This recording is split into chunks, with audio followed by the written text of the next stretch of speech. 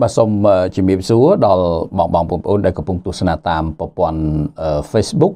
បាទហើយក៏ជំរាបសួរដល់បងបងប្អូនដែលកំពុងតែទស្សនាតាមប្រព័ន្ធ YouTube បាទបាទនៅថ្ងៃនេះខ្ញុំបាទតំណាងក្រុមហ៊ុន EBC បាទអឺលើកជាប្រធានបទមួយទៀតតកតងទៅនឹងរឿងរ៉ាវសុខភាពហ្នឹងបាទដោយប្រធានបទនោះគឺថាអឺ ជំងឺដ៏សំខាន់មួយហើយជាពិសេសជំងឺហ្នឹងគឺថាភាកច្រើនហ្នឹងពិបាកនឹងនឹងរោមធ្យោបាយក្នុងការដោះស្រាយណានឹងភាកច្រើនណាដែលដែលជាទូទៅយើងសង្កេតឃើញអ្នកជំងឺហ្នឹងរ៉ាំរ៉ៃរ៉ាំរ៉ៃអញ្ចឹងហើយរោប្រភពឲ្យច្បាស់លាស់ហ្នឹងវាវាអត់ឃើញហើយមូលហេតុដែលប្រភពច្បាស់លាស់អត់ឃើញហ្នឹង ដោយសារអីបងបងប្អូនអាចអញ្ជើញតាមដានទស្សនាខ្សែវីដេអូនេះជាមួយខ្ញុំបាទដែលជាតំណាងក្រុមហ៊ុន EBC ធ្វើការបកស្រាយពន្យល់ណាហើយជាពិសេសហ្នឹងគឺយើងមានដំណោះស្រាយណាយើងមានដំណោះស្រាយជូនបាន បាទអញ្ចឹងអាចអញ្ជើញស្វែងយល់ណាបាទប៉ុន្តែមុននឹងខ្ញុំបាទបន្តជាមួយប្រធានបទនេះបាទគឺសូម បង្ហាញជូននៅប្រព័ន្ធផ្សព្វផ្សាយរបស់ក្រុមហ៊ុន EBC បាទប្រព័ន្ធផ្សព្វផ្សាយរបស់ក្រុមហ៊ុន EBC យើងមាន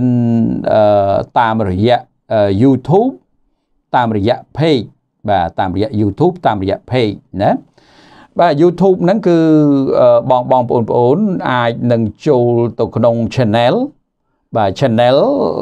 ឬក៏ហៅថាប៉ុសក៏បានដែរខ្មែរយើងបើប្រៀបធៀបទៅណា បាទប៉ុសឬក៏ channel ហ្នឹងគឺ EBC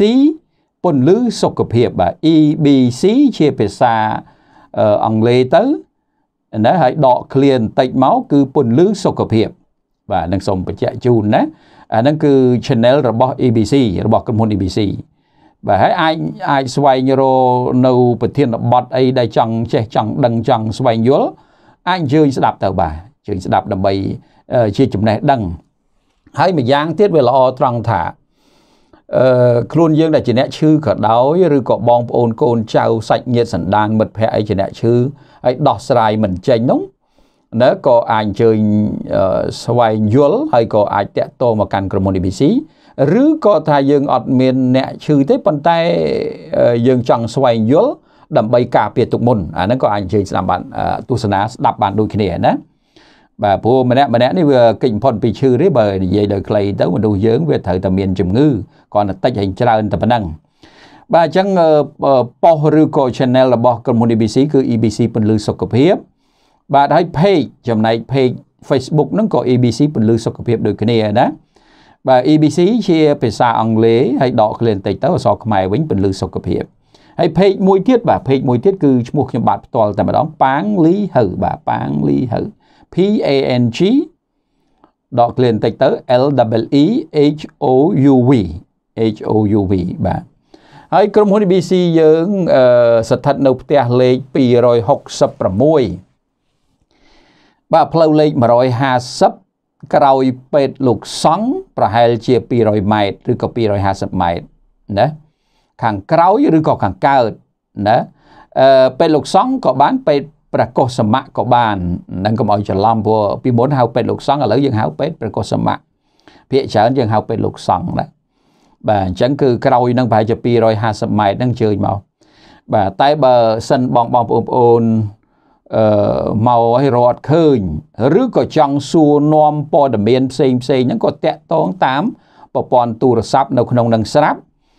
មាន012ឬ015 កតុយនោះដូចគ្នាទេ98 11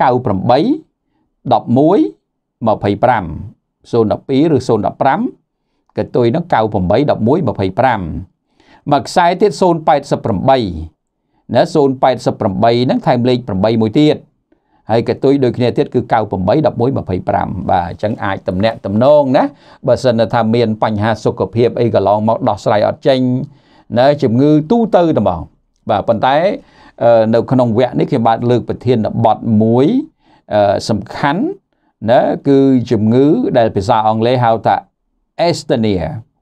បាទ Estonia ណា Estonia បកប្រែជាភាសាខ្មែរថាអស់កម្លាំងរហិតរហៃណាអស់កម្លាំងរហិតរហ័យណាធ្លាប់ដឹងហើយអាជំងឺអស់កម្លាំងរហិតរហ័យណាបងបងប្អូនប្អូនធ្លាប់ដឹងធ្លាប់យល់ហើយ បាទភាកច្រើនហ្នឹងយើងជួបប្រទះញឹកញាប់សឹងអីហ្នឹងណាអស់កម្លាំងរហិតរហ័យហ្នឹងប៉ុន្តែត្រង់តែថារមូលហេតុហ្នឹងវាអត់ឃើញជួនកាលវាអញ្ចេះ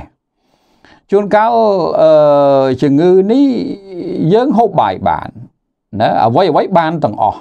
ណាប៉ុន្តែនៅតែអស់កម្លាំងឃើញទេអានេះជាបញ្ហាហើយទៅនោះគេថាមិនដឹងទៅនោះគេថាមិនឃើញទៅនោះគេរមូលហេតុមិនឃើញគេទេ បាទប៉ុន្តែមនុស្សជាឈឺអញ្ចឹងជាអស់កម្លាំងមួយថ្ងៃទល់មួយថ្ងៃមួយថ្ងៃទល់មួយថ្ងៃហ្នឹងណាអញ្ចឹងប្រធានបទដ៏សំខាន់នេះគឺចែកជូនជាចំណេះដឹងណាហើយនឹងវិធីដោះស្រាយណាជូនបងបងប្អូនប្អូនដែលនិយមតាមដានក៏ដូចជាចង់ចេះចង់យល់រឿងរ៉ាវសុខភាពនេះឯងណាបាទអញ្ចឹងជំងឺអស់កម្លាំងរហិតរហ័យយើងថាជំងឺអញ្ចឹងក៏បានឬក៏វាមិនទាន់ឈឺឲ្យទៅជាធំដុំកពួនអីទេ ក៏អាចថាបានដែរណាយើងនិយាយអស់កម្លាំងរហិតរហ័យអញ្ចឹងឬក៏ជំងឺហ្នឹងណាភាសាអង់គ្លេសហៅថា asthenia ឬក៏ fatigue ឬក៏ weakness of the body អីចឹងទៅទៅតាមភាសាហ្នឹងយើងនិយាយមួយណាក៏បានប៉ុន្តែក្នុងអត្តន័យនឹងមួយបាទបាទជំងឺអស់កម្លាំងរហិតរហ័យហ្នឹងបងបងប្អូនប្អូនយល់ហើយណាដែលវាចេះតែអស់ណាជាប្រភេទជំងឺបង្ហាញអំពីសភាពអស់កម្លាំងអស់កម្លាំងអឺជួនកាលបាយហើយក៏នៅតែអស់ ណាបាយហើយក៏នៅតែអស់ទទួលទានច្រើនប៉ុណ្ណាក៏នៅតែអស់ណាឬក៏ទទួលទានមិនច្រើនក៏នៅតែអស់ល្មមក៏នៅតែអស់កម្លាំងឃើញទេបាទអានឹងវាអញ្ចឹងឬក៏យើងមានជំងឺផ្សេងផ្សេងបាយមិនសូវបានអានឹងវាអស់កម្លាំងវាសមហើយបើវាសមហេតុសមផលហើយបើយើងមានជំងឺផ្សេងផ្សេងបាយមិនសូវបានវាអស់កម្លាំងនៅប៉ុន្តែបើបើសិនបាយមិនបានយើងបានអីផ្សេងទៀតឧទាហរណ៍ថាបានផ្លែឈើបាន ទឹកកឡុកបានស្អីស្អីចឹងទៅណាអាហ្នឹងវាវាមិនអីទេណាវានៅតែទប់ទល់បានកម្លាំងរបស់មនុស្សប៉ុន្តែនេះចង់បញ្ជាក់ថាមនុស្សដែលហូបបានហើយនៅតែអស់កម្លាំងណាឬក៏យើងមានអាជំងឺហ្នឹងវារ៉ាំរ៉ៃយូរអញ្ចឹងបងបងប្អូនអាចនឹងស្វែងយល់ពីប្រភេទជំងឺហ្នឹងណាបាទជំងឺអស់កម្លាំងរហិតរហ័យដែលភាសាអង់គ្លេសហៅថា Estonia ហ្នឹងគឺជាប្រភេទជំងឺបង្ហាញពីសភាពអស់កម្លាំងទន់ដៃទន់ជើងមិនចង់ធ្វើការអ្វី ល្វើយរហូតដល់វិលមុខងងុយដេកស្ងាបញឹកញាប់ណាដើរចង់ដួលអាចប៉ះពាល់ទៅដល់ផ្នែកណាមួយនៃរាងកាយឬក៏ប៉ះពាល់ទៅដល់រាងកាយទាំងមូលបាទនឹងជំងឺជំងឺអស់កម្លាំងលហិតឡៃហ្នឹងអញ្ចឹងបង្ហាញពីសកម្មភាពពីសភាពដែលយើងទុនដៃទុនជើងល្វើយណាអត់ចង់ធ្វើអីទៅខ្ជិលហើយបើនិយាយពីដេកហ្នឹងគឺដេកហើយស្ងាបដដែល បាទដេកច្រើនណាប៉ុន្តែស្ងាបនៅតែស្ងាបអញ្ចឹងនៅតែទុនដៃទុនជើងល្វើយអញ្ចឹងគេថាអានឹងជាជំងឺហ្នឹងហើយរហូតទៅដល់ពេលខ្លះចង់វិលជួរខ្លះព្រឹបល្ងឹតមុខក៏មានដែរជួនកាលអឺជួនកាលក្រោកមកដោយសារតែដូចថាវាលឿនណាដូចថាក្រោកធ្វើអីលឿនកំហុកណាវិលចាក់ទីងចាក់ដោងហ្នឹងបាទអានឹងរឿងច្រើនណាអញ្ចឹងហើយបានពេលខ្លះគេរកមិនឃើញណាបាទពេលខ្លះក៏រកឃើញមូលហេតុទេ ណែហើយដល់អញ្ចឹងដោះស្រាយវាអត់ចេញណែអាហ្នឹងវាជាបញ្ហាណាបាទដែលលោកតាលោកយាយបងបងប្អូនប្អូនត្អូនត្អែពីរឿងជំងឺហ្នឹងឃើញថាភាកច្រើនណាភាកច្រើនដែលចាស់ចាស់ហ្នឹងត្អូនត្អែពីរឿងហ្នឹងខ្លាំងណាអញ្ចឹងបាទខ្ញុំបាទលើកប្រធានបទនេះយកមកជំរាបជូនបាទ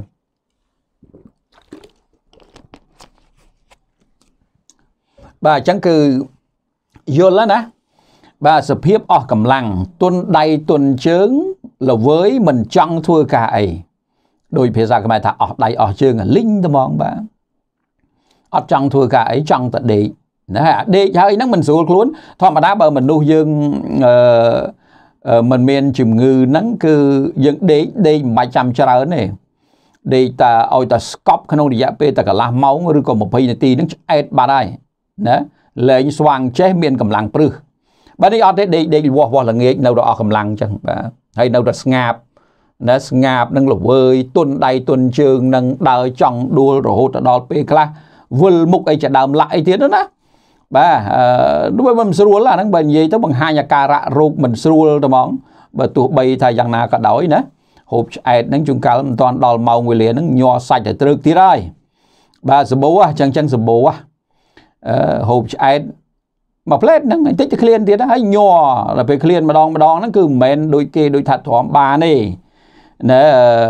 វាទៅជាញ័រសាច់ទឹកទឹកទឹកទឹកទឹកទឹកណាបានដាក់មកយ៉ាងស្វាងតិចបន្ទាប់ពីហ្នឹងមិនតាន់ដល់កន្លះម៉ោងទៀតណាអាហ្នឹង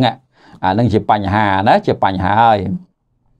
អត់ស្រួលទេជំងឺចឹងចឹងចឹងហើយបានក្នុងគោលការណ៍សុខភាពនឹងគឺច្រើនជួបហើយជួបហើយទៅដោះស្រាយអត់ចេញទេអ្នកជំងឺនឹងចេះតែស្វែងទៅនេះទៅនោះគេថាអញ្ចេះគេថាអញ្ចោះណាខ្លះរហូតទៅដល់បន្ទោសខ្មោចទៀតក៏មានដែរបាទបន្ទោសខ្មោច គេថាអូអាខ្មោចធ្វើណាខ្មោចនោះគ្នាមិនដឹងខ្លួនផងគ្នាមិនដឹងខ្លួនចេះតែបន្ទោសណាហើយចេះតែរហណាអញ្ចឹងហើយបានចង់លើកឡើងរឿងរ៉ាវទាំងអស់នេះយកមកជម្រាបជូនបងបងប្អូនប្អូនឲ្យបានជ្រាបណាបាទអញ្ចឹងអឺយើងឃើញអស់កម្លាំងអញ្ចឹងងុយទៅដេកទុនទៅខ្លួននឹងរហូតណាមិនឈប់មិនឈរអញ្ចឹងមូលហេតុអីខ្លះណាបងបងប្អូនអាចនឹងស្វែងយល់ណា បាទហើយជួទុនជង្គង់ទុនជង្គង់ណាឡើងទៅគឺចង់តែជ្រុលជ្រុលជ្រុលទៅមុខបាទចង់តែផ្កាប់មុខនឹងឯងណាជាពិសេសចាស់ចាស់ហ្នឹងមិនថាចាស់ថាក្មេងទេជំងឺហ្នឹងបើកាលណាកើតចំពោះអ្នកណាក៏ដូចតែគ្នាដែរប៉ុន្តែគាត់ថាភាកច្រើនហ្នឹងគឺថាវាច្រើនទៅលើមនុស្សចាស់នឹងភាកច្រើនតែក្មេងក៏មានដែរណាក្មេងអាយុ30ជាងអីក៏មានដែរអ្នកខ្លះគាត់អញ្ចឹងគាត់អត់មានមួយថ្ងៃមួយថ្ងៃល្វើយស្លេកស្លាំងណាមើលមុខស្លេកស្លេកណា របៀបគ្មានឈាមគ្មានអីគេទេបាទហើយដើរទៅជ្រុលជ្រុលទុនទុនយូរទៅលែងហ៊ានចេញពីផ្ទះក៏មាន បាទអញ្ចឹងនឹងចង់បញ្ជាក់ជូនណាណាហើយបើថាអង្គុយធ្វើការងារអីជាដើមលាក់ហ្នឹងនៅក្នុងបរោក្នុងការិយាល័យនៅកន្លែងធ្វើការឬក៏កន្លែងលក់ដូរអីហ្នឹងគឺថាទុនអញ្ចឹងទៅណាអ្នកណាសួរនាំក៏ខ្ជិលរបៀបដូចថាល្វើយ របៀបដូចដល់មនុស្សធ្វើដំណើរ1000គីឡូម៉ែត្រមកអញ្ចឹងណាណាអស់កម្លាំងល្វើយមកបើកឡានមកយប់ទល់ល្ងាចអញ្ចឹងណាឧទាហរណ៍អញ្ចឹងរបៀបអញ្ចឹងរបៀបខ្ជិលចង់និយាយរកពីណាទេណាឃើញទេដេកណាដេកលើកុំព្យូទ័រអញ្ចឹងដល់យូរទៅណាបាទបាទនឹងអញ្ចឹងណាហើយដេកឲ្យស្ងាប់បាទដេកឆ្អែតឯនៅតែស្ងាប់ហ្នឹងណា ដាក់កាហ្វេដាក់ស្អីណាក៏ទប់ឈ្នះដែរអាស្ងាប់អីល្វើយទុនដៃទុនជើងដេកទៅរៀងបានគ្រាន់បើបន្តិចណាដល់មកវិញបាននៅមិនតាន់កន្លះម៉ោងទៀតណានឹងអញ្ចឹងអញ្ចឹងហើយបានតែជាជំងឺមួយដែលជាសញ្ញាបង្ហាញអំពីអ្នកជំងឺហ្នឹងគាត់គាត់យ៉ាប់យឺនមែនតើហើយណាគាត់គាត់ទ្រូមគាត់អស់កម្លាំងហើយណាអញ្ចឹងយើងមើលមើលសញ្ញាខ្លះវិលរោដល់វាធ្ងន់ពេកវិល បាទវិលរហូតដល់គ្រាន់តែងាកមកជួនកាលគ្រាន់ងាកអញ្ចឹងងាកបន្តិចវិលបើកបាច់7ពេកក៏មានដែរបាទអានឹងអានឹងរឿងច្រើនណាបាទនៅក្នុងនឹងរឿងច្រើនណាបាទអញ្ចឹងនេះជាសញ្ញាមួយដែលលោកតាលោកយាយបងបងប្អូនប្អូនគួរតែមានការយល់ដឹងណាដើរដើរទៅផ្សារអីអញ្ចឹងទៅណាវិលជួនកាលទៅឃើញមនុស្សអ៊ូអវិលជួនកាលគ្រាន់តែថាវាមានសភាពពីខាងក្រៅបែបលក្ខណៈថប់ដង្ហើម មនុស្សច្រើនក្លិនមិនល្អវិលទៀតទៅណាអានឹងជាជំងឺមួយដែលជាទូទៅគឺថាកើតមិនឈប់មិនឈរទេណាសម្រាប់បងប្អូនប្រជាប្រដ្ឋយើង ដែលយើងអាសាឃើញអញ្ចឹងជំងឺអញ្ចឹងអញ្ចឹងសួរថាតើត្រូវធ្វើយ៉ាងម៉េចបាទមូលហេតុអីខ្លះដែលដែលនាំឲ្យចេះតែអស់កម្លាំងចេះតែវិលចេះតែហេវចេះតែហត់ចេះតែញ័រដៃជើង ណាបែក7ពេកវិលអីយ៉ាងជាដើមឡាក់ហ្នឹងអាសួរថាហ្នឹងជំងឺជំងឺអីអឺតាមពិតទៅជំងឺទាំងអស់នេះអឺជាជំងឺដែលគេហៅថាមានមូលហេតុបង្កនឹងច្រើនយ៉ាងណាជាជំងឺដែលដែលបង្ហាញពីមូលហេតុបង្កច្រើនយ៉ាង ជាជំងឺបង្កប់បាទជាជំងឺដែលមានមូលហេតុបង្កប់ វាអត់ទាន់ចេញស្ដែងទៅជាជំងឺណាមួយទេហើយជំងឺហ្នឹងវាច្រើនចម្រុះគ្នា បាទច្រើនចម្រុះគ្នា វាបង្កប់នៅក្នុងខ្លួនហ្នឹងតែវាអត់ទាន់ផ្ទុះឲ្យទៅជាថាអូឥឡូវចូលទឹកនោមផ្អែមឬក៏លើសឈាមឬក៏ស្អីទេណាឬក៏មានជំងឺណាមួយចឹងហើយវាមានអាជំងឺច្រើនបង្កប់នៅក្នុងនឹងទៀតណែឃើញទេអាហ្នឹងជាបញ្ហាចោតជាបញ្ហាចោតអញ្ចឹងហើយបាននៅក្នុងគោលការណ៍ហ្នឹងភាកច្រើនគេរោមសូវឃើញ ណាឬក៏ថារោឃើញដែរដោះស្រាយវាអត់ចេញក៏មានដែរអាជំងឺលហិតលហៃអស់កម្លាំងណាប្រលាំងមមមួនអីហ្នឹងគឺថាល្វើយវិលអីហ្នឹងណាភាកច្រើនគេរត់ឃើញនៅរោគសញ្ញាច្បាស់លាស់ហើយអារត់ឃើញរោគសញ្ញាច្បាស់លាស់ហ្នឹងពិបាកព្យាបាលណាមិនស្រួលទេព្រោះវាមិនដឹងថាត្រូវប្រើអីវាមិនដឹងថាត្រូវប្រើអីគេនេះអាហ្នឹងអាចជាបញ្ហាចោតដែរណាអធិស្ឋានឬក៏ថារកឃើញនៅនៅ នៅរោគសញ្ញាដែរប៉ុន្តែរកឃើញមួយមុខពីរមុខអីចឹងទៅប៉ុន្តែរឿងហ្នឹងវាប្រកបក្នុងនឹងច្រើនទៀតបាទវាវាប្រកបនៅក្នុងនឹងច្រើនទៀតវាមិនមែនតែប៉ុណ្្នឹងឯណាហើយដល់អញ្ចឹងវាមិនដឹងដាក់អាណាត្រូវឲ្យឆ្នាំដាក់អានេះទៅដូចជាវាមិនត្រូវដាក់អានោះវាមិនត្រូវណែឃើញទេអឺតរគេថាខ្វះជាតិស្ករដល់ទៅដាក់ជាតិស្ករទៅឡើងជាតិស្ករវិញនៅតែវិលដដែលនៅអស់កម្លាំងដដែលខ្វះកាល់ស្យូមដាក់អាកាច់កាល់ស្យូមផឹកបានមួយផ្លេតទៀត គេទេអាចឹងចឹងវាមិនមែនស្រួលទេជំងឺចឹងចឹងណាបើសិនមិនដឹងពីវិធីសាស្ត្រនៅក្នុងការដោះស្រាយគឺថាមានការលំបាកហើយយើងជួបច្រើនណាបាទជួបច្រើនណាមិនមិនតែម្នាក់ឯងប៉ុន្តែក្រុមហ៊ុន EBC បានដោះស្រាយជោគជ័យនឹងគឺថាច្រើនយកមែនតើអាជំងឺចឹងចឹងហើយមូលហេតុអីបានដោះស្រាយជោគជ័យច្រើនអានឹងខ្ញុំបាទនឹងធ្វើការបញ្យល់អំពីគោលការណ៍ហ្នឹងអញ្ចឹងហើយបាននៅក្នុងប្រធានបទដ៏សំខាន់មួយនេះគឺថាបងបងប្អូនប្អូនជួយចែករំលែក ណាជួយចែករំលែកតតគ្នាផងនៅខ្សែវីដេអូមួយនេះតាមរយៈ Facebook ក្តីតាមរយៈ YouTube ក្តីដើម្បីឲ្យបងបងប្អូនប្អូនដតីហ្នឹងគាត់បានទទួលព័ត៌មានទទួលដំណឹងហើយឈានមករកការដោះស្រាយឲ្យជាណាបើការដោះស្រាយអឺបើមិនរមកការដោះស្រាយបែបលក្ខណៈដែលកំពុងបង្ហាញនេះណាតិចទៀតយើងនឹងយល់ច្បាស់អាហ្នឹងគឺមានការលំបាកហើយណានៅតែរ៉ាំរៃរហូតនឹងឯងណា ចឹងស្ដាប់ឲ្យតន់មូលហេតុដែលបង្កឲ្យមានជំងឺអឺលហិតលហៃអស់កម្លាំងលហិតលហៃនេះគឺវាមានកតាបង្កប់ត្រូវចាំវាមានកតាបង្កប់នៅក្នុងខ្លួនដែលមិនទាន់ផ្ទុះដែលមិនទាន់ផ្ទុះចេញមកឬក៏អញ្ចេះវាមានជំងឺមួយពីរមុខបីមុខអីចឹងទៅប៉ុន្តែវាមានអាចចម្រោះផ្សេងទៀតដែលមិនទាន់ផ្ទុះមកក៏មានដែរអាហ្នឹងអញ្ចឹងណានៅឧទាហរណ៍យើងមានជំងឺទឹកនោមផ្អែមប៉ុន្តែវាមានអាក្រៅពីទឹកនោមផ្អែមមានតាំងពីស្អីស្អីស្អីតែវាអត់ទាន់ចេញជារូបរាងធំដុំទេ ណាអាហ្នឹងក៏ធ្វើឲ្យបញ្ហានឹងកើតឡើងដែរណាអញ្ចឹងយើងស្ដាប់ស្ដាប់នៅមូលហេតុបាទមូលហេតុដែលបង្ក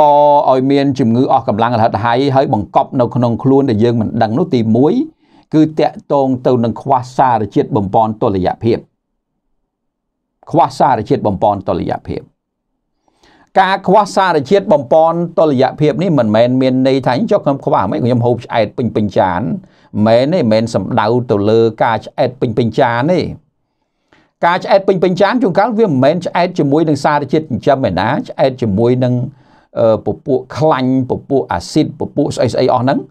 របស់ផ្អាប់របស់វិចខ្ចប់អស់ហ្នឹងហើយជំងឺចឹងចឹងបើយើងទទួលទានតារបស់អញ្ចឹងកែរួចទេថ្នាំអីក៏កែរួចដែរគេណាអាហ្នឹងត្រូវយល់វាខ្វះអាសារជាតិសំខាន់សំខាន់នោះ ណាដែលមានវីតាមីនដែលមានប្រូតេអ៊ីនដែលមានរ៉ែនោះហើយផ្អែកទៅរករុក្ខជាតិបៃតងឲ្យគ្រប់ចំនួនដែលសេចក្តីត្រូវការរបស់រាងកាយវាខ្វះអាហ្នឹងហើយដែលយើងអាចបានផ្ដល់ឲ្យអាហ្នឹងផងគេទេយើងបានទាំងខ្ញុំហូបឆ្អែតចឹងគ្រប់ហើយណាតែកាលណាហូបខ្ញុំហូបឆ្អែតមានន័យថាខ្ញុំហូបគ្រប់មែនទេខុសហើយការការហូបឆ្អែតមិនមែនការហូបគ្រប់នៃសារជាតិចិញ្ចឹមទេឆ្អែតតពោះណាឆ្អែតជាមួយនឹងអ្វីដែលបង្កបញ្ហាមកវិញក៏មានដែរ ណែអញ្ចឹងកុំច្រឡំណាកុំច្រឡំអញ្ចឹងចំណុចដែលអ្នកប្រាជ្ញគេរកឃើញថាទី1វាអាចមកពីខ្វះសារជាតិបំពន់តុល្យភាពនឹងជាកត្តាសំខាន់ជាកត្តាសំខាន់ប៉ុន្តែមិនមែនតែរឿងនឹងមួយទេវាមានរឿងផ្សំច្រើនទៀតប៉ុន្តែរឿងនឹងជារឿងសំខាន់អារឿងនឹងជារឿងសំខាន់ណាបាទទី2អាចបញ្ហាដេកមិនលក់យូរខែឆ្នាំណាជួនកាលយើងមានបញ្ហាដេកមិនលក់ណាវាមានអាជំងឺជំងឺដេកមិនលក់ណា ហើយដេកមិនលក់ដោយសារកត្តាអីផ្សេងផ្សេងច្រើនទៀតប៉ុន្តែដេកមិនលក់នោះយូរខែឆ្នាំមកលក់ដែរលក់លក់អត់ស្កប់លក់ព្រាលព្រាលជួនកាលដាក់ទៅយកសពឯងតណាតណីអូប្រងព្រាតអត់ស្កប់ណាអាហ្នឹងវានាំឲ្យជះអតិពលមកលើរាងកាយនឹងដែរគេនេះវាអាចមានបញ្ហាចឹងណាអានឹងចំណុចទី2ចំណុចទី3ជួនកាលវាមានបញ្ហាប្រព័ន្ធរំលាយអាហារទៀតណែគេនេះអានឹងជាជំងឺបង្កប់ហើយដែលយើងត្រូវស្វែងណាត្រូវស្វែង ណាបញ្ហាប្រព័ន្ធរំលាយអាហារដូចជាមានជំងឺកាពះពោះវៀនអកាពះហ្នឹងកិនអត់ប្រកែ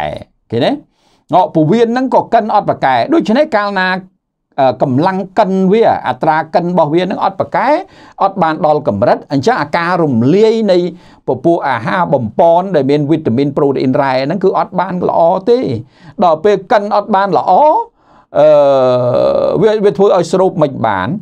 ឃើញទេស្រូបអត់បានអូម៉ារ៉ា100កិនបានត្រឹម ត្រឹម20 30%ណាអញ្ចឹងអា70 80%បោះចោលទៅទេឃើញទេហើយយើងហូបចូលទៅកុំសង្ឃឹមថាខ្ញុំហូបបានច្រើនណាអញ្ចឹងខ្ញុំត្រូវមានកម្លាំងមែនទេកុំច្រឡំកម្លាំងស្រូបវាអត់ទៅក្នុងសាច់ដុំនោះណាវានៅចោលត្រឹមត្រឹមពវៀនតូចទេណា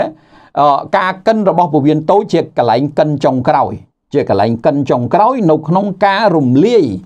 ណាឧទាហរណ៍ថាឥឡូវយើងហូបបាន100អញ្ចឹងមាត់តាពីមិនអញ្ចឹងបន្ទាប់ពីមាត់តាពីហើយកាពះបើត្រូវកិនមួយតង់ទៀតពីរតង់ប៉ុន្តែអាមាត់ហ្នឹងគឺតាពីមិនមិនបានច្រើនប្រមាណកិនមិនបានច្រើនប្រមាណទេខ្លាំងនៅកន្លែងកាពះហើយជួនកាលកាពះហ្នឹងវាខ្សោយឃើញទេការខ្សោយរបស់កាពះដែលនាំឲ្យបញ្ចេញអាស៊ីតមិនគ្រប់ទៀតគេណាអូម៉ារ៉ាកម្រិតនៃទឹកអាស៊ីតពីកាពះហ្នឹងគេឲ្យប្រមាណអូម៉ារ៉ាគេឲ្យ 100អញ្ចឹងកម្លាំងបញ្ចេញទឹកអាស៊ីតហ្នឹងអត់គ្រប់ផងហ្នឹងអង់ស៊ីមទៅរំលាយអាហារពីកាពះហ្នឹងអត់គ្រប់ផងហ្នឹងអញ្ចឹងការកិនហ្នឹងវាខ្សោយមួយជាន់ណាអដល់ពេលធ្លាក់ទៅកាន់ពវៀនតូចអាការកិនពីពវៀនតូចដែលត្រូវបានកិនដោយពពួករំលាយដោយពពួកទឹកប្រមាត់ណាពីថ្លើមហើយនឹងអង់ស៊ីមពីលំពេងឃើញទេ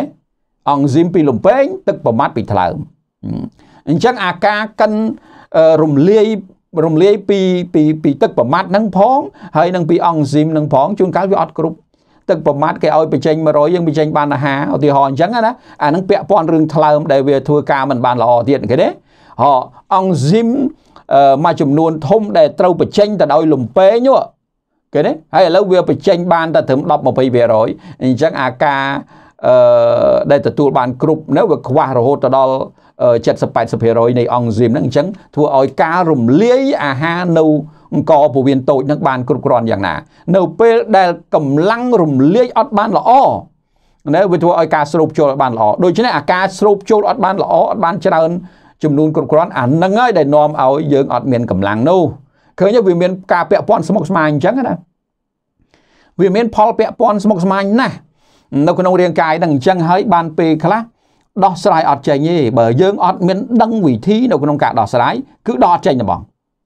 ណាដោះអត់ចេញទេយើងនៅតែអស់កម្លាំងនៅតែហេវហត់នៅតែរ៉ាំរ៉ៃអញ្ចឹងឃើញទេវាពាក់ព័ន្ធទៅដល់ថ្លើមវាពាក់ព័ន្ធទៅដល់លំពេងអជួនកាលលំពេងហ្នឹងវារលាកទៀតវាមានជំងឺរលាកលំពេងឃើញទេហើយដល់អញ្ចឹងវាខូចអាអាប្រព័ន្ធបញ្ចេញអង់ស៊ីមគេហៅថា digestive enzyme from the the pancreas ណាពីមុខងារលំពេងហ្នឹងគេទេ អត់គ្រប់គ្រាន់ដល់អញ្ចឹងធ្វើឲ្យកម្លាំងរលាយបានធ្វើឲ្យមានកម្លាំងយ៉ាងម៉េចគឺមានពាក់ការពាក់ព័ន្ធណាអាហ្នឹងគេហៅថាជំងឺប្រព័ន្ធរំលាយអាហារខ្សោយណាអញ្ចឹងវាអាចផ្សំអញ្ចឹងឃើញទេណាផ្សំចេញពីរឿងហ្នឹង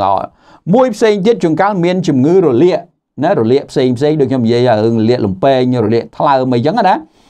ដល់អញ្ចឹងវាវាធ្វើឲ្យអាមុខងារសរីរាង្គហ្នឹងខូចខាតខ្សោយវាមិនទាន់ខូចទេបើខូចទៅផ្ទុះជំងឺបាត់ហើយ ប៉ុន្តែវាអត់ទាន់ខូចទេប៉ុន្តែវាបាត់បង់មុខងាររបស់វាអូមុខងារវាត្រូវបំពេញ100វាបំពេញបាន50អញ្ចឹងទៅឃើញទេអាហ្នឹងអាហ្នឹងវាចោតទៅហ្នឹងវាចោតទៅហ្នឹងហោបញ្ហាឈាមដូចជាខ្វះគ្រាប់ឈាមក្រហមជាដើមឡាក់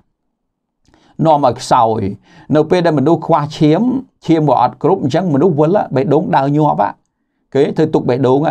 ឃើញឃើញអ្នកខ្វះឈាមគេត្រូវបញ្ចូលឈាមឲ្យគ្រប់ឯ ណាហើយមូលហេតុខ្វះឈាមជួនកាលវាអាចតាក់ទងរឿងច្រើនទៀតអាចតាក់ទងទៅដល់ក្របឈាមក្រហមនឹង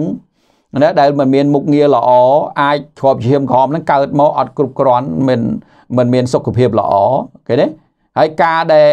អឺផលិតក្របឈាមក្រហមអត់គ្រប់វាអាចពាក់ព័ន្ធទៅដល់ខួរឆ្អឹងណោះណាទៅដល់ខួរឆ្អឹងឃើញរឿងវាច្រើនអញ្ចឹងណា រឿងវាច្រើនអញ្ចឹងអញ្ចឹងហើយបានថានៅក្នុងហ្នឹងដូចខ្ញុំបញ្យល់ជូនថាវាមានភាពស្មុគស្មាញច្រើនហើយដល់អញ្ចឹងគេរត់ឃើញទេគេរត់ឃើញដល់ពេលរត់ឃើញទៅវាធ្វើមិនដោះស្រាយចេញទេដាក់អញ្ចេះដាក់អញ្ចេះវាអត់ត្រូវអត់ដល់ហ្នឹងអ្នកជំងឺនៅតែឈឺអញ្ចឹងអាហ្នឹងខ្ញុំលើកខ្លីៗណាបញ្យល់ត្រួសត្រាយបងបងប្អូនបានយល់អតកតងនឹងមានជំងឺបេះដូងរ៉ាំរ៉ៃជាដើមឡាក់ជំងឺបេះដូងដោយសារ បេះដូងចំហដោយសារប្រឹសបេះដូង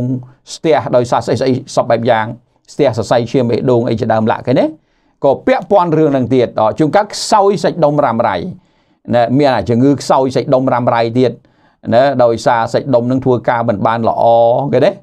ហើយដល់ចឹងវាទុនដៃទុនជើងអស់កម្លាំងដើមមិនចង់រួចណាបាទទាំងអស់ហ្នឹងបញ្ហាប្រព័ន្ធប្រសាទសរសៃប្រសាទដូចជាមានជំងឺប៉ាគីសុនជាដើមគេទេ ណាអាហ្នឹងក៏អស់កម្លាំងដែរក៏ញ័រទុនដៃទុនជើងជួនកាលវាមានបញ្ហាប្រព័ន្ធគូក្បាលនេះដែលប្រុងនឹងកើតជំងឺប៉ាគីសុនជំងឺប៉ាគីសុនជាប្រភេទជំងឺដែលពាក់ព័ន្ធនឹងបញ្ហាគូក្បាល ដែលមានសារជាតិឡូដូប៉ាមីនហ្នឹងវាអត់គ្រប់អញ្ចឹងធ្វើឲ្យការបញ្ជាហ្នឹងអត់បានទេមនុស្សហ្នឹងអង្គុយអត់បានយូរជួនកាលកវីក្បាលអញ្ចឹងជាប់ជួនកាលញ័រដៃជួនកាលអង្គុយនឹងដើរចុះដើរឡើងអាហ្នឹងប៉ាគីសុនណាណា បាទអាហ្នឹងវារឿងរឿងច្រើនណានិយាយដល់ខ្លីរឿងច្រើនអជួនកាលមានជំងឺបង្កប់ខូចប្រព័ន្ធសំយោគណាដូចជាមានជំងឺទឹកនោមផ្អែមអីជាដើមឡាក់ឃើញសិតតែជំងឺខូចប្រព័ន្ធសំយោគចឹងចឹងណាមានជំងឺទឹកនោមផ្អែមអីជាដើមឡាក់អាហ្នឹងហើយដែលជាបញ្ហាអមានបញ្ហាកពេញទុយរ៉ូអ៊ីតណាជំងឺកពេញទុយរ៉ូអ៊ីតដែលនាំឲ្យ អឺមនុស្សហ្នឹងមានអាគេហៅកពេញទីរ៉ូអ៊ីតសកម្មពេកអញ្ចឹងវាទៅជាពោកកវាទៅជាស្គមខ្លួនវាទៅជាលៀនភ្នែកណាអាហ្នឹងរឿងរឿងអញ្ចឹងអញ្ចឹងបានអារឿងជំងឺអស់កម្លាំងលហិតហើយនេះវាពាក់ព័ន្ធច្រើនចំណុចណាស់ណែហើយវាវាមិនមែនជាជំងឺមួយជាក់លាក់អូមកថាឥឡូវវាចេញផ្ទុះមកថាឥឡូវឧទាហរណ៍ថាឥឡូវផ្ទុះទៅជាជំងឺកពេញទីរ៉ូអ៊ីតណាអឺរឿងហៅថា hyper thyroid នោះ ណា thyroid នោះ hyperthyroid នោះគេណាអាហ្នឹងវាព្យាបាលអាហ្នឹងទៅវាមិនអីប៉ុន្តែជំងឺវាពាក់ព័ន្ធគ្នាវាពាក់ព័ន្ធគ្នាណាវាបញ្ហានេះបន្តិចបញ្ហានោះបន្តិចណាហើយវាមិនតាន់ផ្ទុះនៅវាមិនតាន់ផ្ទុះចេញមកធំដុំវានៅអញ្ចឹងនៅអញ្ចឹងដល់អញ្ចឹងមនុស្សហ្នឹងចេះតែឈឺរ៉ាំរ៉ៃហើយរោមុខឃើញគេហៅជំងឺរោមុខឃើញអជួនកាលមានជំងឺផ្លូវចិត្តបាក់ទឹកចិត្តអីទៀតគេនេះវាផ្សំគ្នាអញ្ចឹងណា បាទផ្សំគ្នាបន្តិចបន្តិចបន្តិចបន្តិចរឿងវាកើតឡើងអមានជំងឺមហារីកមានជំងឺសួត មានជំងឺរ៉ាំរ៉ៃផ្សេងផ្សេងទៀតឡាក់គេណាអញ្ចឹងជំងឺប្រភេទគេហៅថាអស់កម្លាំងលហិតលហៃនេះបាទអស់កម្លាំងលហិតលហៃហ្នឹងគឺវាមានការពាក់ព័ន្ធច្រើនចំណុចច្រើនយ៉ាងណាច្រើនចំណុចច្រើនយ៉ាងណាហើយអាចច្រើនចំណុចច្រើនយ៉ាងបង្កប់ហ្នឹងអាហ្នឹងបើនិយាយផ្នែកវិទ្យាសាស្ត្រពេទ្យហ្នឹងពិបាកអើយពិបាកដោះស្រាយហើយណាដែលយើងឃើញ ជាទូទៅនឹងមិនដឹងដោះរបៀបម៉េចទេមិនដឹងយកណាទៅដោះណាទេវវមិនដឹងវាមិនច្បាស់លាស់វារមុខមិនឃើញយ៉ាងថារមុខមិនឃើញវាចេះតែអស់ហើយទៅនោះគេថាអញ្ចេះទៅនោះគេថាអញ្ចោះណាគេថាប៉ុន្តែដោះស្រាយអត់ចេញណាគេថាថាឲ្យនៅពិនិត្យឃើញខ្វះនេះខ្វះនោះប៉ុន្តែបំពេញហើយនៅតែមិនគ្រប់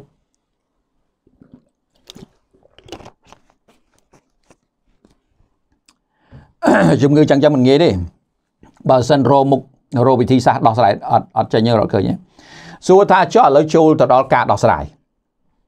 តើត្រូវដោះស្រាយយ៉ាងណា ដើម្បីឲ្យជាជំងឺហ្នឹងយើងក៏លេខទៅមើលមូលហេតុនៃបញ្ហា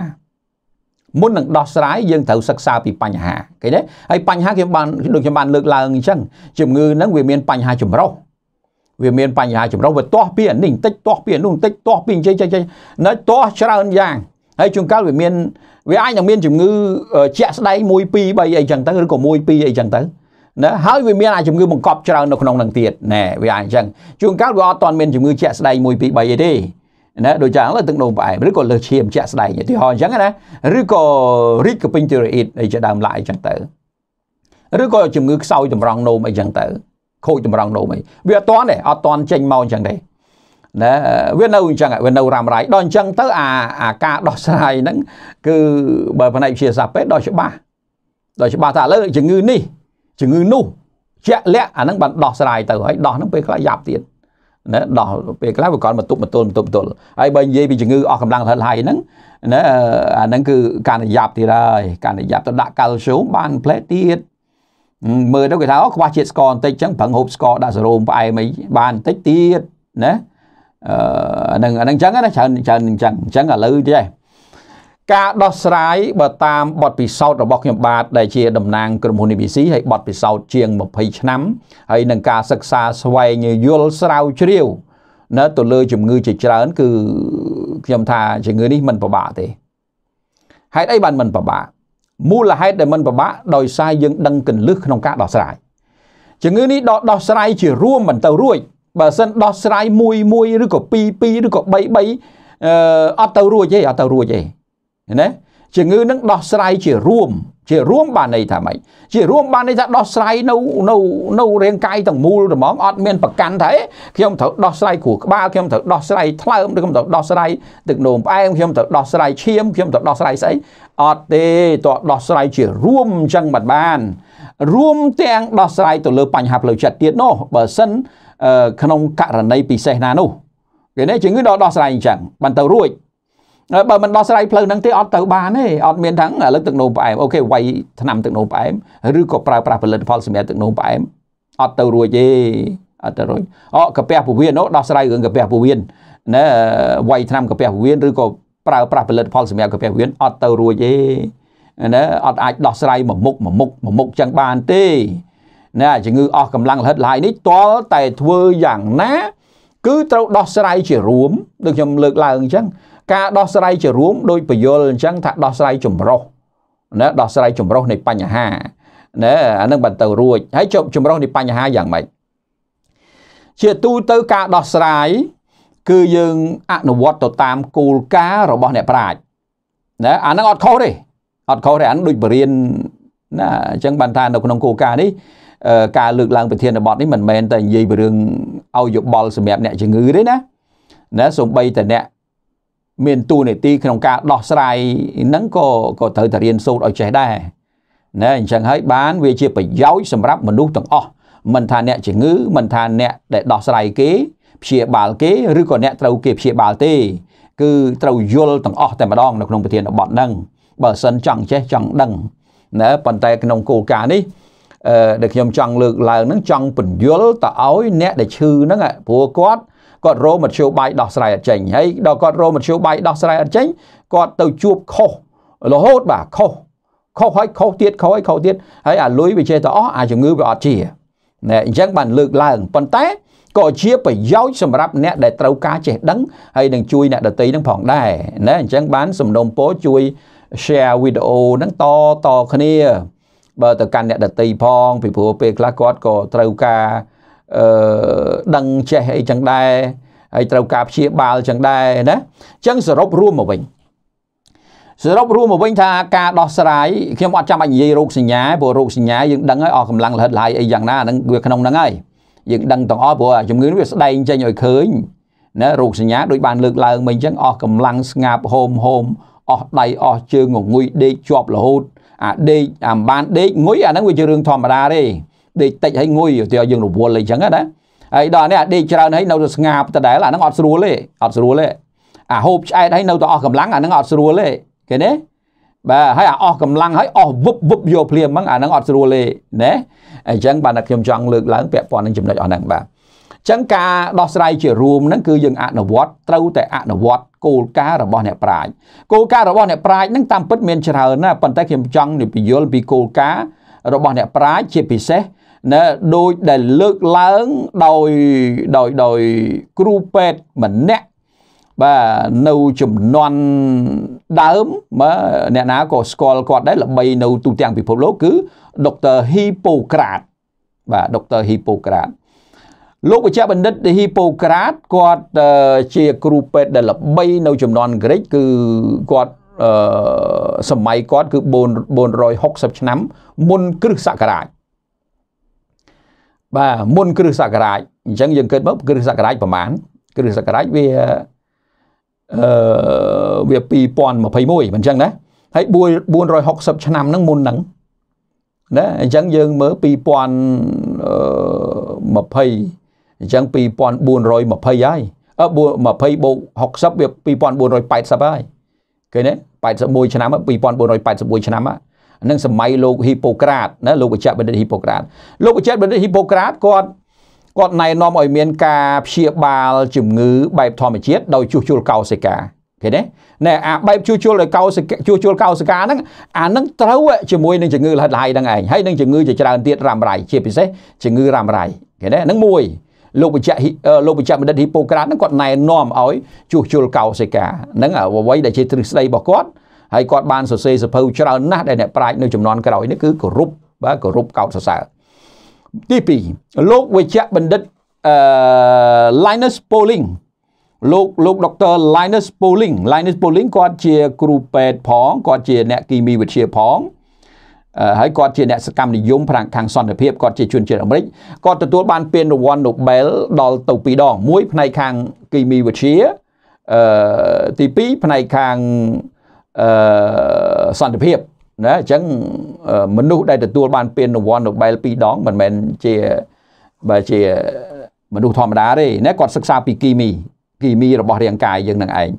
ណាគាត់រកឃើញថា ណាកោសិការបស់យើងនេះមនុស្សដែលឈឺភាកច្រើនហ្នឹងគឺវាតាក់ទងទៅនឹងខ្វះសារជាតិចិញ្ចឹមនឹងឯងអញ្ចឹងគាត់បានលើកឡើងនៅគោលការណ៍ចង្អុលបង្ហាញឲ្យមានការដោះស្រាយណាទៅលើជំងឺជាច្រើនជាពិសេសជំងឺផ្នែករ៉ាំរ៉ៃហ្នឹងគឺថាណាឲ្យមានការជួសជុលកោសិកាគឺក្នុងន័យដូចនឹងលោកវិជ្ជបណ្ឌិតហ៊ីប៉ូក្រាតដែរឃើញទេបាទដោយយោងទៅតាមការចង្អុលបង្ហាញនេះហើយការសិក្សាស្រាវជ្រាវ អស់រយៈពេលជាង20ឆ្នាំនេះក្រុមហ៊ុន ABC បានអនុវត្តគោលការណ៍ដែលគោលការណ៍នោះមាន4ចំណុចធំធំ បាទមាន4ចំណុចធំធំ4ចំណុចធំធំហ្នឹងគឺទី1អឺទៅលើផ្នែកបំពន់ឃើញទេបាទទៅលើផ្នែកបំពន់ហ្នឹងអញ្ចឹងហើយបានក្រុមហ៊ុន ABC បដោតទៅលើការព្យាបាលដោយប្រើប្រាស់អាហារបំពន់ហ្នឹងឃើញទេអញ្ចឹងជំងឺលហិតលហៃហ្នឹងវាជាជំងឺបង្កប់នៅបញ្ហាជាច្រើនយ៉ាងអញ្ចឹងយើងយកគោលការណ៍ទាំង4ហ្នឹងទៅដោះស្រាយ ណាទៅដោះស្រាយណាទី1ផ្នែកបំពន់គេទេបាទព្រោះដូចដូចនៅក្នុងអឺការបញ្ជាក់អំបញ្ញមិញអញ្ចឹងថាចំណុចទី1ដែលនាំឲ្យមានជំងឺលហិតលហៃហ្នឹងគឺថាដោយសារខ្វះសារជាតិបំពន់តុល្យភាពហ្នឹងអញ្ចឹងយើងយើងយល់ពីហេតុការណ៍នឹងច្បាស់យើងយល់ពីជំងឺនឹងច្បាស់ដូច្នេះយើងដោះស្រាយទៅលើការបំពន់គេណាបាទបំពន់ហ្នឹងមិនមែនបំពន់តែមួយផ្នែកទេបំពន់គ្រប់ទាំងអស់ បាទបំពន់គ្រប់ទាំងអស់ពីព្រោះរាងកាយរបស់មនុស្សដែលបង្កើតឡើងដោយកោសិកាចំនួន80 60ទៅ80 trillion ហ្នឹងវាត្រូវការសារជាតិបំពន់តុល្យភាពអញ្ចឹងហើយបានយើងត្រូវណដោះស្រាយតាមរយៈការបំពន់ហើយការបំពន់ហ្នឹងគឺនេះយើងមានផលិតផល spirulina maca អញ្ចឹងឃើញទេយើងមានផលិតផល spirulina maca ហ្នឹងទៅបំពន់រាងកាយទាំងមូលហើយបំពន់នេះវាអត់មានប្រកាន់ទេ អ្នកអត់មានប្រកាន់ថាអេខ្ញុំបំពន់កាពះខ្ញុំបំពន់ថ្លើមបំពន់សួតតាណាក៏បំពន់ដែរណាឲ្យទៅឲ្យតែក្នុងរាងកាយទាំងមូលវាអត់មានប្រកាន់ទេអញ្ចឹងការបំពន់នេះក្នុងន័យយ៉ាងណា ការបំពន់នេះគឺក្នុងន័យធ្វើយ៉ាងណាឲ្យកោសិកាទាំងអស់មកសរីរាង្គនេះវាខ្លាំងឡើងវិញឃើញទេ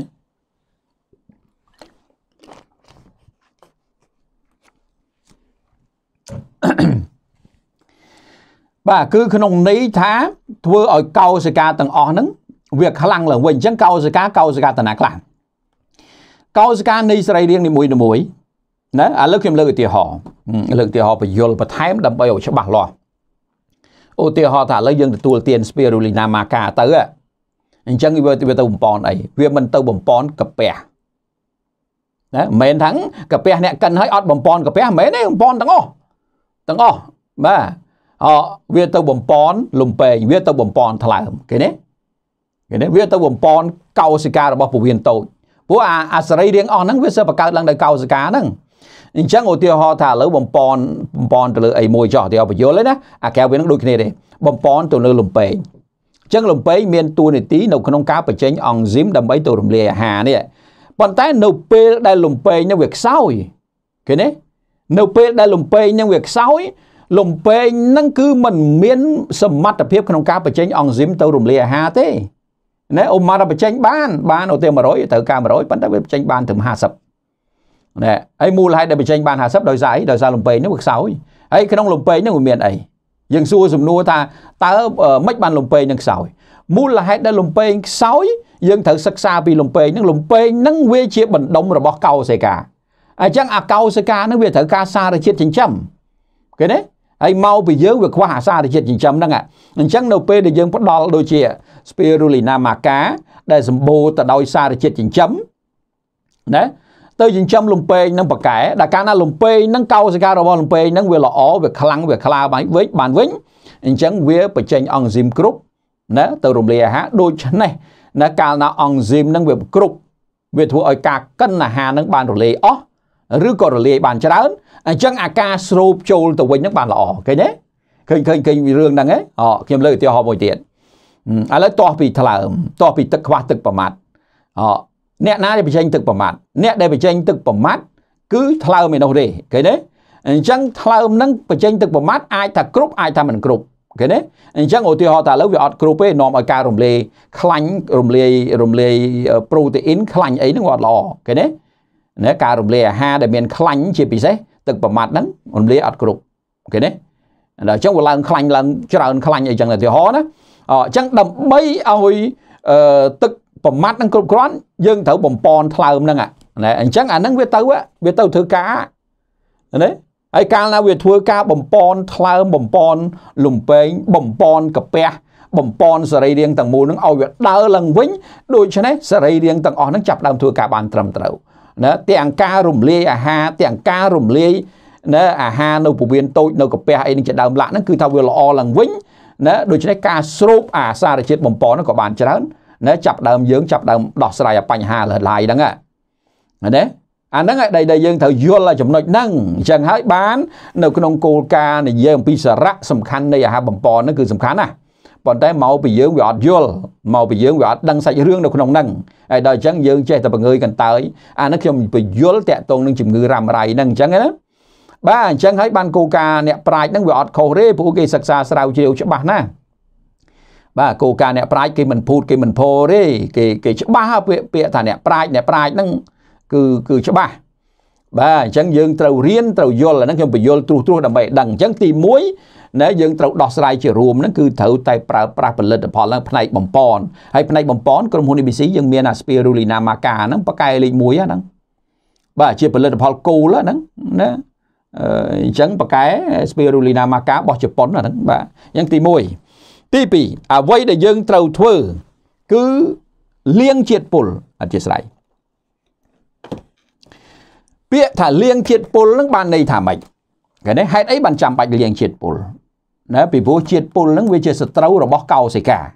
អាជាតិពុលហ្នឹងវាជាសត្រូវរបស់កោសិកាហើយជាតិពុលដែលដែលនៅក្នុងខ្លួនយើងកន្លែងច្រើនជាងគេនៅតាណាគឺជាតិពុលចេញពីពោះវៀនធំអាកាសសំណល់រលួយហ្នឹងអាហារហ្នឹងអាហារដែលរលួយហ្នឹងហៅជាតិពុលហើយហ្នឹង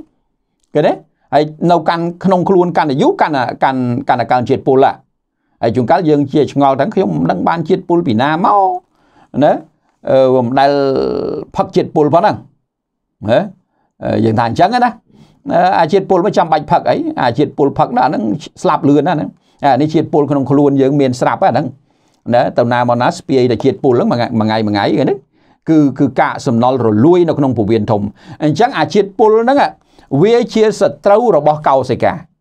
គេជាសត្រូវរបស់កោសិកាណាព្រោះកោសិកាហ្នឹងកាលណាវាមាន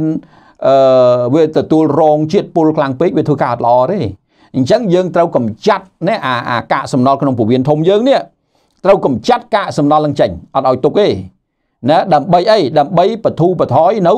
គំហុកជាតិពុលចូលទៅកាន់ថ្លើមចូលទៅកាន់ឈាមនោះអញ្ចឹងយើងត្រូវប្រើណាហើយដូចដូចកន្លងមកគេនេះអ្នកដែលអឺខ្លះក៏គាត់មានអាជំងឺទល់នឹងលេង3 4 5ថ្ងៃបានបត់ជើងម្ដងអានឹងជាតិពុលពេញខ្លួនហើយ អានឹងថ្ងៃក្រោយឈានទៅរកជំងឺធ្ងន់ធ្ងរហើយណាអញ្ចឹងហើយអ្វីដែលយើងត្រូវដោះស្រាយដូចខ្ញុំនិយាយអញ្ចឹងថាដោះស្រាយជារួមអ្នកត្រូវប្រើផលិតផលដូច fiber អីចឹងគេទេ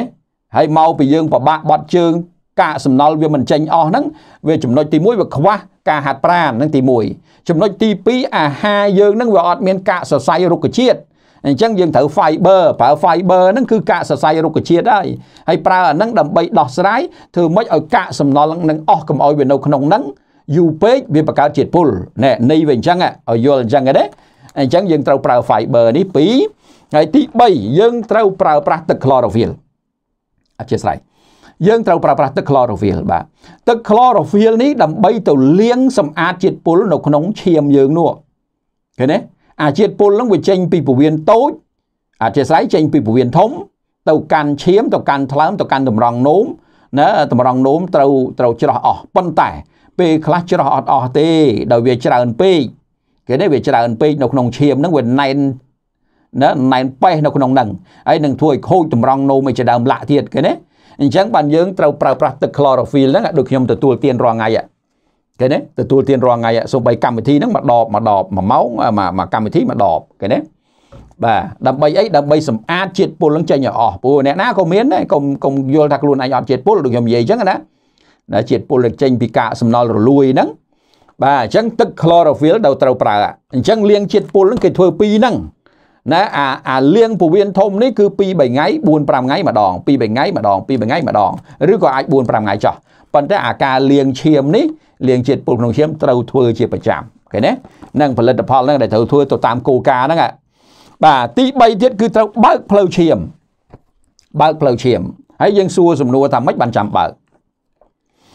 ពីព្រោះឈាមហ្នឹងហើយដែលជាជាអ្នកដឹកជញ្ជូនឃើញទេហើយចុះឧទាហរណ៍ថាឥឡូវយើងមានសារជាតិបំពន់គ្រប់ក៏ដោយមានផលិតផលផ្សេងផ្សេងចុះបើឈាមរត់មិនស្រួលព្រោះបើឈាមរត់មិនស្រួលសួរថាមិនដែរ បាទវារត់មិនស្រួលឧទាហរណ៍ថាឥឡូវវាត្រូវចិញ្ចឹមខួរក្បាលនេះ Spirulina maca វាទៅចិញ្ចឹមខួរក្បាលយើងដើម្បីខួរក្បាលយើងប្រកែណែឧទាហរណ៍ណាបាទអញ្ចឹងសួរថាវាទៅតាមណាវាមិនទៅតាមឈាមហើយចុះបើយើងមានប្រព័ន្ធនេះឈាមយើងខូចឈាមយើងស្ពាតណាសរសៃឈាមខួរក្បាលវាចង្អៀតតូចវារួមតូចអញ្ចឹងឲ្យសារជាតិបំពន់ត្រូវគ្រប់គ្រាន់យ៉ាងម៉េចអត់គ្រប់ទេអត់គ្រប់ទេគេទេដូច្នេះ ណាជំងឺហ្នឹងគោលការណ៍សុខភាពគឺត្រូវប្រើប្រាស់ណា cholesterol plus ហ្នឹងគឺដើម្បីបើកផ្លូវឈាមអាហ្នឹងយើងនិយាយតែគូក្បាលមួយឯងចុះគ្រប់ផ្នែកទាំងអស់នោះឃើញទេគ្រប់ផ្នែកទាំងអស់អញ្ចឹងត្រូវត្រូវប្រើប្រាស់ cholesterol plus ហ្នឹងដែរដើម្បីអីដើម្បីបើកផ្លូវឈាមឲ្យលំហូរឈាមទៅគ្រប់កន្លែងនៃសរីរាង្គកាយហ្នឹងឲ្យវាដើរបានល្អឃើញទេបាទអាហ្នឹងយើងត្រូវធ្វើគោលការណ៍រួមអញ្ចឹងណាចំណុចមួយទៀតដែលយើងត្រូវធ្វើគឺប្រើប្រាស់អុកស៊ីហ្សែន ណែប្រើប្រាស់អុកស៊ីហ្សែនពីព្រោះអុកស៊ីហ្សែននេះក៏ជាកត្តាចាំបាច់សម្រាប់កោសិកាដែរព្រោះកោសិការបស់មនុស្សវាត្រូវការទឹកត្រូវការសារជាតិបំពន់ត្រូវការអុកស៊ីហ្សែនឃើញទេហើយពេលខ្លះយើងមានអុកស៊ីហ្សែនអត់គ្រប់ដោយសារមានប្រព័ន្ធផ្លូវដង្ហើមយើងអត់ប្រកែអីជាដើមឡាក់ឃើញទេយើងមានជំងឺសួតជំងឺរបេងជំងឺហត់ជំងឺអីជាដើមអញ្ចឹងទៅអញ្ចឹងវាស្រូបយកអុកស៊ីហ្សែនអត់គ្រប់ទេហើយដល់ស្រូបអត់គ្រប់វាធ្វើឲ្យកោសិកានឹងបានអុកស៊ីហ្សែនពីណាគ្រប់ណាដល់ពេលកោសិកាវាអត់គ្រប់ បានអុកស៊ីហ្សែនអត់គ្រប់វាមានការសំយោគមួយមិនប្រកែហើយដល់ពេលការសំយោគមិនប្រកែវានាំឲ្យក្របឈាមក្រហមនឹងខ្សោយណែវាអញ្ចឹងឃើញទេវាដេញតរឿងគ្នាអញ្ចឹងអូរឿងច្រើនណាស់នៅក្នុងរាងកាយរបស់យើងហ្នឹងអញ្ចឹងហើយបានគេត្រូវគោលការណ៍របស់អ្នកប្រាជ្ញគេណែនាំឲ្យយើងដោះស្រាយនៅគោលការណ៍ទាំង4ធំធំហ្នឹងហើយនឹងគោលការណ៍បន្ថែមទៀតណាដូចជាការប្រើប្រាស់អានេះយើងបន្ថែមដើម្បីឲ្យវាឆាប់ជា ណាដូចជាទឹកដោះគោដំបងជាដើមឡាអាហ្នឹងសម្រាប់ពង្រឹងប្រព័ន្ធការពារឲ្យខ្លាំងណាប៉ុន្តែគោលការណ៍ទាំង4ហ្នឹងជាគោលការណ៍សំខាន់ហើយណាអាហ្នឹងអាហ្នឹងយើងអាចប្រើដើម្បីបង្កើនល្បឿនឲ្យឆាប់ជាហើយបើអាចទៀតអានឹងប្រើប្រាស់កាល់ស្យូមណាកាល់ស្យូមទៅជាមួយទៀតដើម្បីឲ្យអាកម្រិតកាល់ស្យូមក្នុងខ្លួននោះឲ្យបានគ្រប់ណាហើយបើអាចទៀតដោះស្រាយទៅលើប្រព័ន្ធរលាកទៀតដូចជា Easter C ជាដើមឡាអានឹងសម្រាប់បន្ថែម ដើម្បីឲ្យល្បឿននោះវាកាន់តែខ្លាំងណាបើអាចអានឹងនិយាយបើអាចណាណាប៉ុន្តែការដោះស្រាយវាអាស្រ័យទៅលើលទ្ធភាពហើយនឹងទៅតាមបាទទៅតាមលទ្ធភាពរបស់មនុស្សម្នាក់ម្នាក់ប៉ុន្តែគោលការណ៍សំខាន់គឺត្រូវដោះស្រាយផ្លូវហ្នឹងហើយណាជំងឺរ៉ាំរ៉ៃជំងឺអស់កម្លាំងលហិតលហើយហ្នឹងតដោះស្រាយផ្លូវហ្នឹងណាហើយគ្រាន់តែថាតើលទ្ធភាពប្រើប្រាស់បានទាំង ទាំងអស់ហ្នឹងឬក៏យ៉ាងណា បើមិនបានទាំងអស់យើងរើសយកអាណាសំខាន់ខាន់ហើយវាត្រូវការត្រូវការធ្វើរោគវិនិច្ឆ័យឲ្យបានច្បាស់លាស់ទៀតណាត្រូវការធ្វើរោគវិនិច្ឆ័យរោគវិនិច្ឆ័យហ្នឹងកន្លែងណាដែលជាបញ្ហាខ្លាំងជាងគេឥឡូវអស់កម្លាំងប៉ុន្តែអស់របៀបម៉េចវាធ្វើទុកតាណាខ្លាំងអញ្ចឹងយើងអាចបិចយកផលិតផលសំខាន់សំខាន់ទៅដោះស្រាយផ្លូវនឹងមុនគេអាហ្នឹងបើសិនយើងខ្វះលទ្ធភាពតែបើថាអេឥឡូវធ្វើមិនមកខ្ញុំជា អូមកខ្ញុំជាអត់បញ្ហាទេឲ្យតែមានលទ្ធភាពបាទឲ្យតែមានលទ្ធភាពងាយស្រួលបំផុតមកជំងឺប៉ុណ្ណឹងប៉ុណ្ណឹងហើយជំងឺហ្នឹងតោះដោះស្រាយផ្លូវហ្នឹងបានបានបានបើក្រៅពីផ្លូវហ្នឹងទៅរួចទេព្រោះអានេះវាក្តោបអស់ហើយបើសិនបានដោះស្រាយទាំងប្រមាណនេះក្តោបអស់អាលីងតែហ្មងនៅជំងឺនឹងរត់ផ្លូវណាក៏ទៅរួចដែរប្រៀបដូចថាប្រៀបដូចចេះប្រៀបដូចថាឥឡូវយើងមានសំណាញ់ធំមួយហើយយើងបង់ត្រីណាហើយសំណាញ់ប្រប៉ុនស្រះហ្នឹង ណាអញ្ចឹងអញ្ចឹងត្រីហ្នឹងរត់តាមផ្លូវណាក៏រួចដែរដាក់ទៅគ្របឲ្យមកស្រះហ្នឹងបដ ாய் គេណាឧទាហរណ៍អញ្ចឹងណាអញ្ចឹងក្នុងន័យហ្នឹងការដោះស្រាយដោយផលិតផលទាំងអស់នេះមានន័យថាជំងឺបែបណាក៏ក៏វិជាដែរជំងឺបែបណាក៏ត្រូវដែរព្រោះយើងគ្រប់អស់ហើយហ្នឹង ហើយគោលការណ៍ហ្នឹងគោលការណ៍របស់អ្នកប្រាជ្ញឃើញទេដូច្នេះតលរោផ្លូវហ្នឹងសម្រាប់ជំងឺលហិតលហៃរ៉ាំរ៉ៃអស់កម្លាំងអញ្ចឹងអញ្ចឹងបានទៅរួចបើយើងមិនរោផ្លូវហ្នឹងទេទៅរួចទេពីព្រោះជំងឺហ្នឹងវាមានរឿងរ៉ាវស្មុគស្មាញដូចបានបញ្យលអញ្ចឹង បាទដូចបានបញ្យលវាមានបង្កប់ហើយដល់នេះអត់ខ្វល់ឯងកប់កប់កប់នៅណាក៏ដោយប្រើទៅវាត្រូវទាំងអស់បើកផ្លូវឈាម បំពន់ឲ្យបានត្រឹមត្រូវលាងជាតិពុលផ្ដល់អុកស៊ីហ្សែនហើយពង្រឹងប្រព័ន្ធការពារឲ្យដើរខ្លាំងឡើងវិញមិនយូរមិនឆាប់ទេអាអស់កម្លាំងរ៉ាំរ៉ៃហ្នឹងវាជាបាត់ទៅហើយណាអញ្ចឹងបងបងប្អូនប្អូនទាំងអស់ដែលកំពុងទស្សនាតាម បាទប្រព័ន្ធ Facebook ក្តីតាម YouTube ក្តីណាគឺថាស្វែងយល់ឲ្យបានស៊ីជម្រៅទៅលើជំងឺហ្នឹងបាទហើយខ្ញុំបាទនៅតែឲ្យយោបល់អញ្ចឹងបើថាដោះស្រាយតាណាមិនចេញមកប្រើតែផលិតផលអស់ហ្នឹងវាជាបាត់ហើយកុំព្រួយកំភៃណារយតាណាមិនឃើញមករកក្រុមហ៊ុន EBC មកហើយពីគ្រោះយោបល់អីបញ្ជាក់ជូនថាអត់មានគិតលុយគិតកាក់ទេបាទហើយបើថាលទ្ធភាពអានេះថាអេចុះឥឡូវខ្ញុំមិនសូវមានលទ្ធភាព មិនសូវមានលទ្ធភាពយើងច្បិចយកអាណាដែលប្រចំចំគោលគោលទៅវាធ្វើទុកតាណាខ្លាំងជាងគេណាលិតលហៃហ្នឹងវាមួយប៉ុន្តែអាបន្ថែមពីលើលិតលហៃហ្នឹងវាមានស្អីទៀតអាហ្នឹងអាចមកអញ្ជើញមកពិគ្រោះយោបល់ចោះណាបាទអញ្ចឹងសូមអរគុណហើយសូមជម្រាបលាប៉ុណ្ណឹងហើយសំណូមពរជួយ share វីដេអូតតគ្នាផងសម្រាប់បងបងប្អូនប្អូនតាម YouTube ក្តីតាម Facebook ក្តីបាទសូមជួយ share ហើយអញ្ជើញមកដោះស្រាយ ណាការពិគ្រោះយោបល់ពីរឿងសុខភាពអីអត់មានគិតលុយគិតកាក់ទេបាទអញ្ចឹងសូមអរគុណហើយសូមជម្រាបលាប៉ុណ្ណេះបាទ